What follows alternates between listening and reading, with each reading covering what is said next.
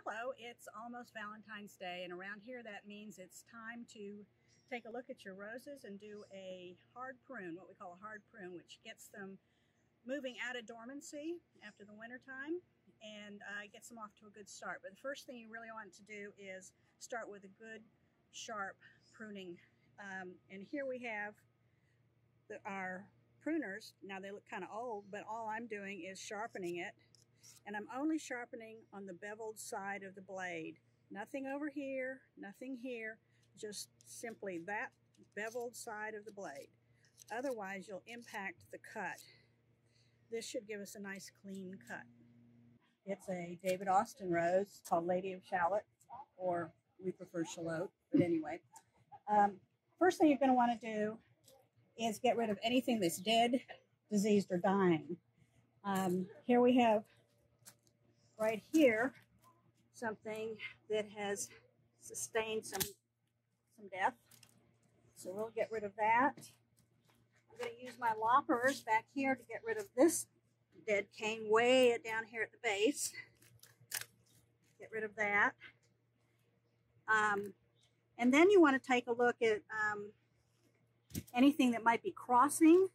Anytime you've got uh, these canes crossing each other, it gives an opportunity for the invasion of disease. So here, you'll see this guy is crossing with this guy. If I don't hang myself up here, I'm going to get rid of that guy. You'll notice I'm wearing very long gloves. They're called gauntlet gloves. They're perfect for shut, uh, taking care of roses. Once we get all of the crossing, dead, and dying things taken care of, then we come back and we remove anything that's smaller than a, diameter pencil because it's not going to be able to produce any sizable kind of rose for you. And we'll keep doing this for quite a while. I'm going to get rid of this top part of this too because it's dead. So as you work on it, you'll come back and do some, you'll see some things that are impacted. We go. See, it's still dead right there. So I'm going to come down even further and hope to get something cut. Also want to make sure that the center of the shrub stays open as much as possible. That's for air circulation that will cut down on um, any possible diseases and things. So this guy is actually sort of growing towards the inside, and I'm going to take him off now.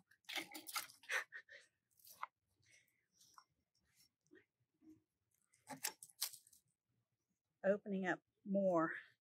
And I'm eventually going to get to the point where we have three to five main canes left.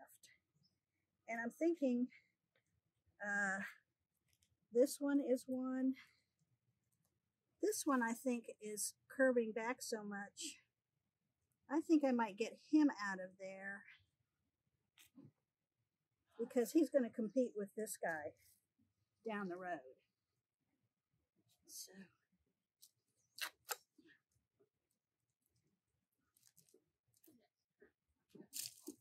This is an older cane right here.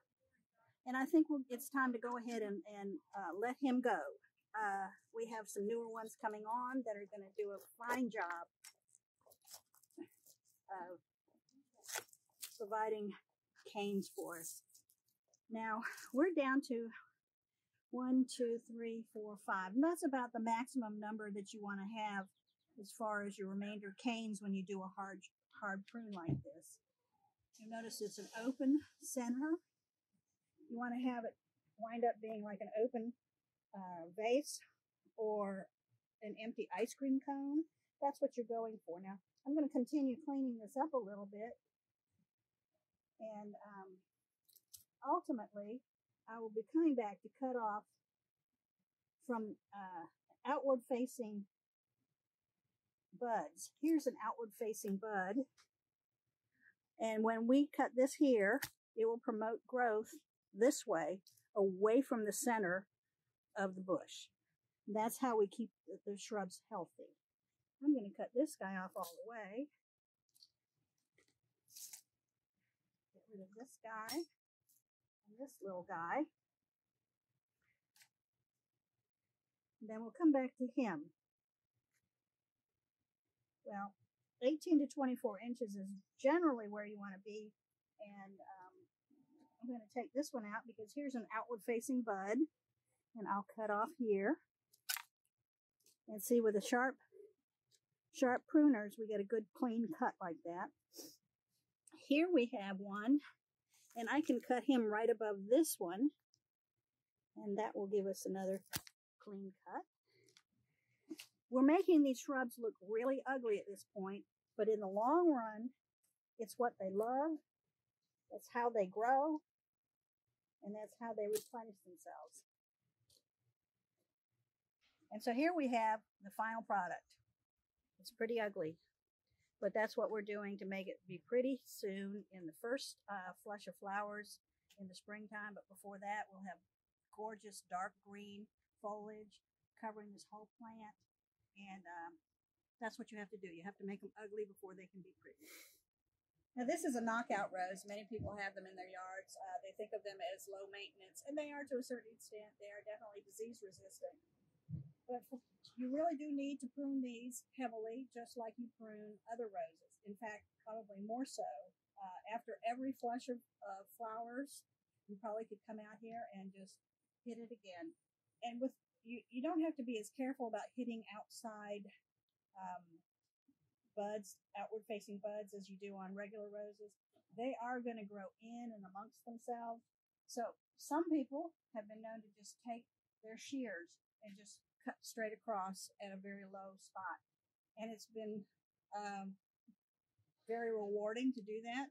It's quick and uh, it, it, it helps the rose recover. So the um, the knockouts are, are very similar to the other rose. It's just they can take a little bit more of a beating. As I mentioned, this is a shrub rose, a David Austin rose. It's been pruned, though, exactly how you would prune a regular hybrid tea or floribunda or grandiflora. Essentially, you're trying to get the center of the rose open and uh, make it shaped like an upside down vase or open ice cream cone cutting on the outside edges for um, outward facing buds. And um, we have now completed our roses, uh, the pruning, the hard pruning for our garden here in the Botanical Garden in Brunswick County. We've just completed it. If you'd like to come by and see what we've done and what you can make your roses look like, please come visit us. We'd love to have you.